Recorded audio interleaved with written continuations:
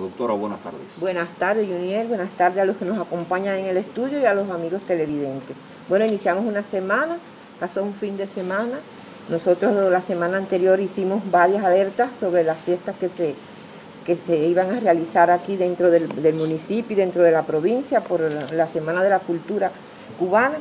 Y realmente esperemos que pasados estos días no nos sorprendan las cifras de, casos este, eh, confirmados porque hoy hay dos objetivos fundamentales en el sector. Uno es continuar disminuyendo las tasas de incidencia para con esto poder llegar a la nueva normalidad, no solamente en la provincia, sino en todo el país. Ese es el objetivo fundamental. Pero bueno, eso depende de la población y de lo que nosotros podamos influir en ella. Un elemento importante que no quería dejar de destacar porque hoy se habló también sobre ese asunto y es el tema de los asintomáticos. O sea, hoy hay un, 10,5% de los casos que se confirmaron nacionalmente eran asintomáticos. Y entonces eso nos preocupa grandemente porque sabemos que la persona asintomática ya lo dice, no tiene síntomas y puede estar transmitiendo a un gran número de personas la enfermedad. Y entonces es una, es una preocupación que este, esta categoría comience a elevar sus números. Y bueno, esperemos los resultados de los próximos días después de las actividades que se realizan en la provincia. Tendremos unas gráficas hoy, en el día de hoy, algunas representaciones gráficas para hacer un resumen y, ver el comportamiento de, en la provincia, cómo está la situación. Aquí la primera gráfica que tenemos los confirmados desde el inicio de la, de la pandemia, 36.305, que es un representa el 98,9% de, de los casos que son autóctonos. En Granma hoy tenemos confirmados activos 306 pacientes en nuestras unidades asistenciales y centros de aislamiento. Recuperados tenemos 35.054 que representa el 96,5% de los pacientes que se han recuperado. En cuanto al estado de los pacientes eh, graves y críticos, bueno, tenemos dos pacientes críticos que pertenecen al municipio de Campechuela y municipio de Río Cauto. En cuanto a los pacientes graves, en el municipio de Campechuela, Medialuna, Niquero con dos cada uno, Yara, Río Cauto y Arriba con uno cada uno. Y bueno, tenemos, lamentamos la pérdida de una persona en la jornada anterior eh, a causa de la enfermedad, que es un fallecido correspondiente al municipio de Guisa, del sexo masculino, de 84 años. Damos las condolencias a sus familiares y amistades. Y tenemos un acumulado de 429 fallecidos hasta el momento con una tasa de letalidad de 1.18 superior a la del país. Ingresados de forma general en vigilancia, casos sospechosos y casos confirmados activos 554. Y sospechosos como tal 239. Fíjense que el número ha disminuido en relación a las jornadas anteriores. No, en cada uno de estos eh, parámetros, la mayoría de ellos disminuyen en relación con la semana anterior. Ahora, doctora, por municipios.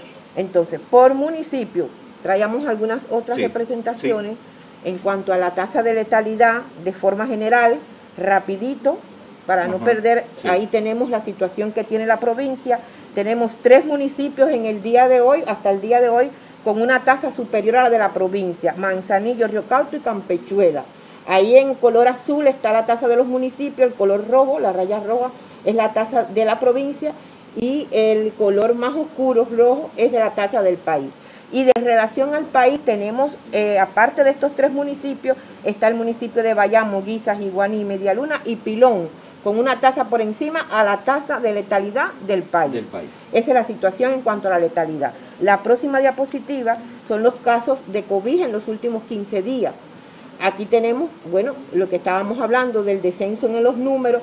Si ustedes pueden observar, a partir del día 10 comienza una estabilidad en el descenso de, los casos, sin dejar de reconocer que llevamos 21 días hoy con un descenso en las tasas. Esta es la situación. En relación al día anterior tenemos una, disminución en tres casos, con 107 casos que se reportan hoy en la provincia. Seguimos la, próxima diapositiva. Es relacionado, es relacionado con la incidencia que hubo en el día de ayer. En el día de ayer el municipio de Cautocristo continúa y además en, hay una gráfica que nos habla a favor de que el municipio de Cautocristo continúa en, alto, en muy alto riesgo y que incrementa sus casas en relación a la semana anterior. Con 22 casos en el día de ayer, Niquero con 19, Jiguaní con 11, Río Cauto y Arriba con 9, Campechuela, Pilón y Guisa con 7 respectivamente, Bartolomé Mazó y Yara con 5, Manzanillo con 4 casos y Bayamo con 2 casos. Medialuna nos reporta, nos reporta casos y en cuanto a las tasas, bueno, podemos observar que hay tres municipios que sus tasas este, crecen en relación al día anterior, que es Pilón, eh, Río Cauto y el municipio de em, Pilón, Río Cauto y el municipio de Niquero, de Campechuela.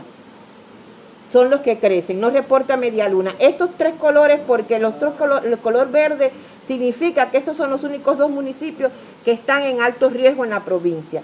El resto diferencia las tasas que están por encima de la provincia, el azul y el rojo unido con el azul, todos los municipios están en muy alto riesgo en la provincia, en el estrato de muy alto riesgo en la provincia. Doctora, muchísimas gracias con eh, esta información y el saber de que hay un alto riesgo de contagio con la COVID-19 en la provincia de Granma. Lo que nos queda es, a pesar de las actividades que se están haciendo, bueno, hacer la, la fiesta de la cubanía implica también un reto a todos los que participan en ella y es el de cumplir las medidas que están establecidas.